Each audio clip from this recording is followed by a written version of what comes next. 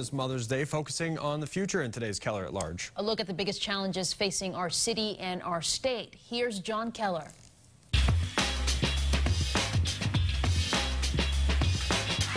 Good morning. Thanks for joining us. You know, 2018 has special meaning for all of us here at WBZ. We're marking 70 years of reporting on this community. And in the weeks leading up to the 70th anniversary of our first broadcast, we're airing a series of special reports looking back at what's changed here over the years in politics, education, transportation, and so on.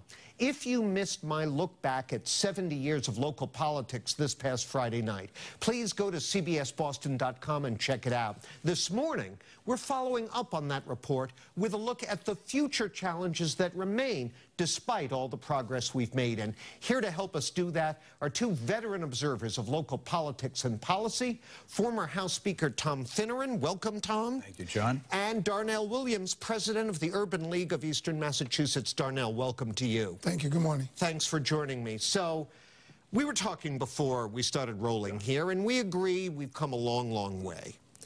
Uh, but uh, we have a long ways to go. And let me start with you, Darnell. When you think of the unaccomplished public policy missions uh, in our city, in our state, what comes to the top of mind?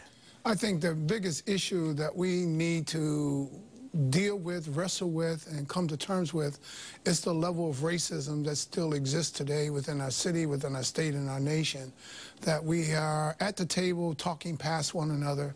We provide judgment versus opportunities where we're really not getting to know the person or what they can add value to our end product. So if we can fix that issue in our lifetime, that will be a real significant accomplishment. You agree with that, Tom? Not entirely. I look ahead 70 years, almost, I would characterize that as just short of three generations. Yeah. Three more generations. Well, let's look back the three generations to 1948, okay? Terribly racist city at the time, uh, very segregated, uh, se segregated not just black-white, segregated. The Irish were here, the Italians were here, here was a Polish section, here was another Greek section over here.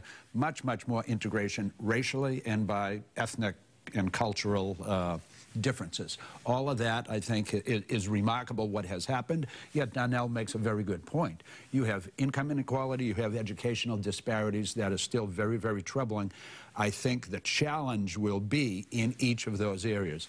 Economic opportunity, legitimate economic opportunity for more people, and uh, trying to find a way to close and uh, e effectively erase that educational outcome disparity.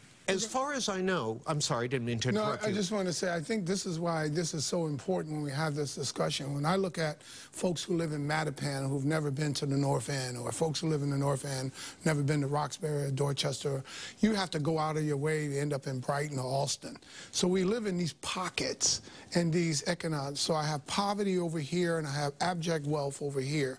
So when I say that racism and how that is, plays itself out in our everyday life, we have that enormous challenge that should not be negated because of the the, the, progress that we've made, but that is also a reality that we have to live with. And we'll continue our conversation about the next 70 years, if you will.